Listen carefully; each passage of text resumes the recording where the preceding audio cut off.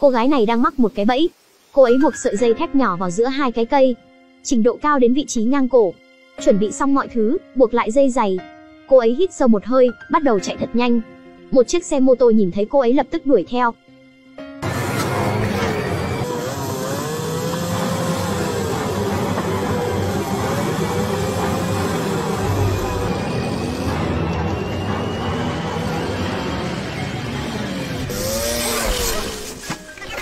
Hôm nay tôi sẽ giới thiệu với các bạn một bộ phim về cô gái đi lạc vào một thị trấn quái dị, chạy trốn khỏi kẻ biến thái và màn trả thù cực đã.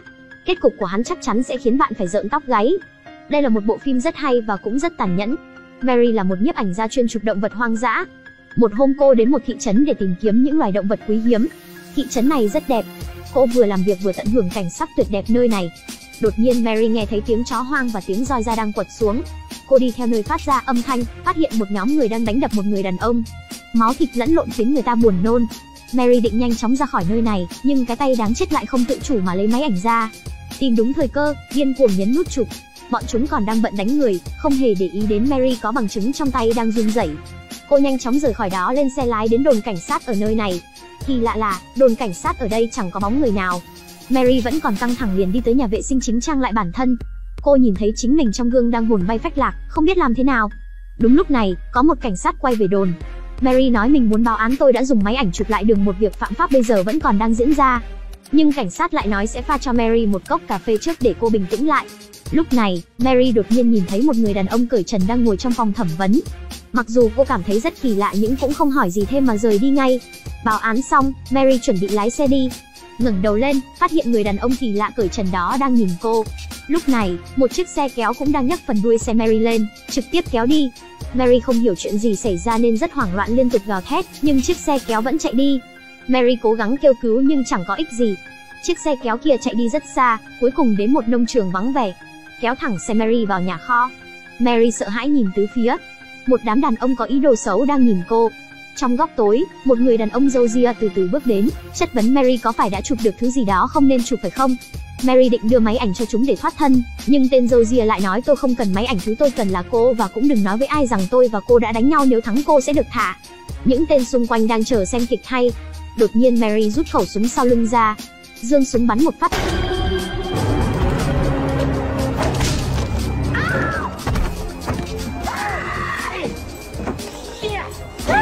Mày thật sự chọc giận tao rồi đấy. Mary bị đánh ngất, bọn chúng trói cô trên một cái bàn, sau đó tra tấn như một con thú. Đẹp như vậy quả là một món quà mà thiên nhiên ban tặng.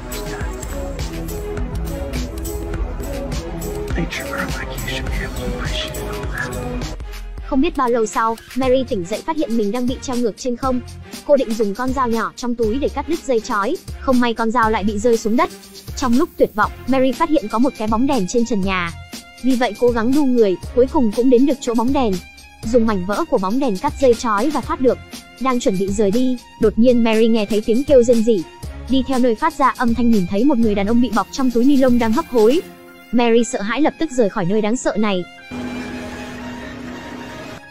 Trong máy quay xuất hiện rất nhiều đôi giày. Xem ra đã có rất nhiều người bị hại. Không lâu sau, tên dâu ria cùng đàn em quay về, phát hiện Mary đã trốn thoát, lập tức đi tìm. Bên này, Mary cũng tìm thấy một căn nhà bỏ hoang nên tạm thời trốn vào đó. Cô tìm thấy có một đôi giày cũ, có thể là của chủ nhân cũ của ngôi nhà này. Tiện thể tìm thêm vài món đồ có thể trốn thoát, nhưng lại chỉ tìm được chút dây gai dầu. Sau khi rời khỏi căn nhà đó, Mary trèo lên đỉnh một cây cao, định tìm đường ra. Không ngờ lại phát hiện đằng xa có một cột khói đang bay lên. Mary bắt đầu nảy ra kế hoạch. Mary định há miệng chờ sung. Cô cố ý đốt lửa gần đó để thu hút tên dâu ria qua bên này. Màn đêm buông xuống, xung quanh yên lặng đến đáng sợ. Một tên đàn em của tên dâu lần theo cột khói đến nơi. Nhìn thấy xung quanh đống lửa chẳng có ai, hắn tức giận chửi bới. Cùng lúc đó, Mary đang lén lút đến chỗ hành lý của hắn, lấy một hộp đạn trong túi áo hắn. Sau đó nhân lúc hắn không chú ý, dùng dây gai dầu buộc hộp đạn thả vào trong đống lửa.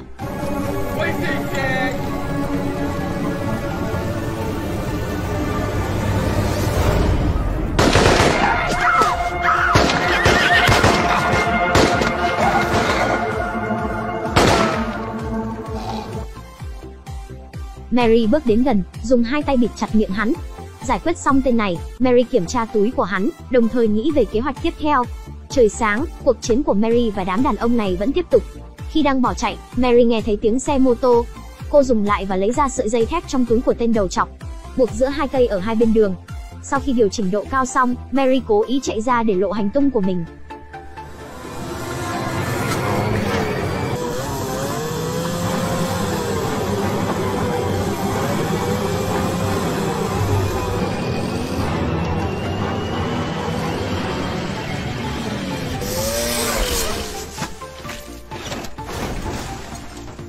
Lúc này Mary đã rất kiệt sức.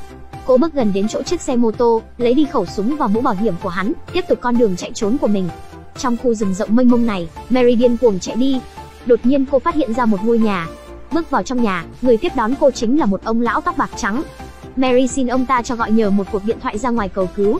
Nhưng ông lão lại nói rất lâu rồi ông ta chưa dùng điện thoại. Sau đó liền mời Mary cùng ngồi xuống uống một ly rượu. Mary cảm thấy ông lão này có chút gì đó kỳ lạ, khi đang nói chuyện, cô đột nhiên nhìn thấy một bức ảnh trên giá sách. Chính là bức ảnh chụp chung của ông ta và tên Dozier. Xem ra, người trong khu rừng này đều là người của hắn. Ông lão uống xong vài ly bắt đầu nói những câu hung hãn. Không ai có thể ra khỏi được khu rừng này. Mary đang nghĩ xem làm thế nào để nhanh chóng ra được khỏi nơi này. Nhìn thấy trên bàn có một ống kim tiêm, Mary nảy ra một ý định.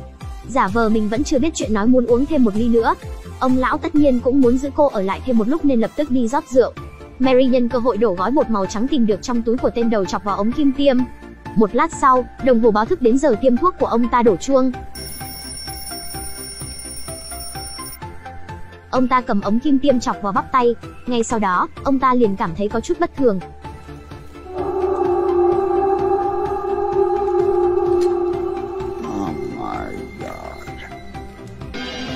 Oh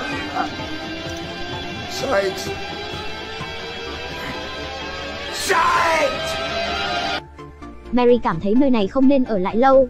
Cô đến nhà để xe lái chiếc xe cũ kỹ của ông ta đi, còn tiện tay cầm theo một khẩu súng săn. Mary lái xe đi theo con đường nhỏ. Bên cạnh con đường nhỏ này có rất nhiều những chiếc xe hơi bỏ đi. Xem ra khu rừng quái dị này và tên dâu ria biến thái kia đã sát hại rất nhiều người rồi. Một lát sau, cái xe cũ kỹ của ông lão kia dừng lại. Mary nhìn chiếc xe tồi tàn, lại nhìn thấy trời sắp đổ mưa bão, cô quyết định bỏ lại xe. Cơ thể mệt mỏi lại vác thêm khẩu súng săn, Mary bước đi chậm rãi. Cuối cùng cô tìm thấy một cửa hàng tiện lợi, nhanh chóng vào trong cầu cứu, nhưng nơi này lại chẳng có ai.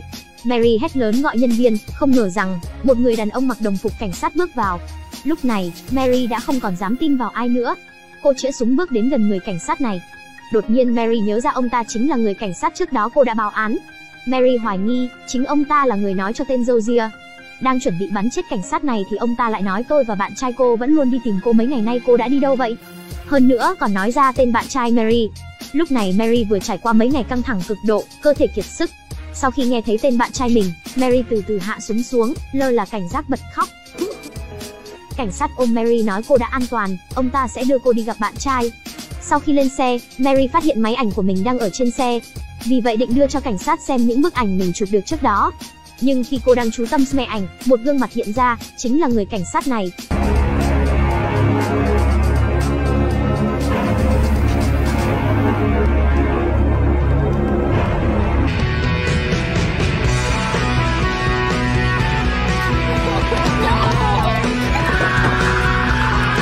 Mary bị nhốt ở ghế sau, khóc lóc gào thét trong tuyệt vọng.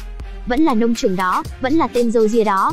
Cố gắng chạy trốn nhiều ngày như vậy, cuối cùng vẫn quay lại đây. Mary lại bị trói trong nhà kho đó. Tên Gia dắt một con bò đen đến và nói với Mary, bò có khả năng tiêu hóa rất tốt, bởi vì dạ dày nó có đến 4 ngăn. Dịch axit trong dạ dày của nó có thể so sánh với axit sulfuric. Sau đó rút ra một khẩu súng chĩa thẳng vào đầu con bò. Tiếp theo mang đến một cây kim và sợi dây thép, rạch người con bò ra. Mary dường như đã hiểu được cảm giác đau khổ tuyệt vọng là thế nào. Chuyển cảnh quay, một con bò nằm trên sàn nhà, mà trên bụng của nó, một con mắt tuyệt vọng đang nhìn thế giới này. Bộ phim đến đây là hết. Kết cục như vậy, khiến lòng tôi như có một tảng đá nặng đè lên, lập tức muốn chạy đi hỏi đạo diễn. Các bạn còn biết bộ phim nào về những màn báo thù của các cô gái hãy để lại bình luận bên dưới. Nhắc trước là cái kết của nó phải khiến người khác cảm thấy thoải mái nhé. Hôm nay xin phép dừng lại ở đây.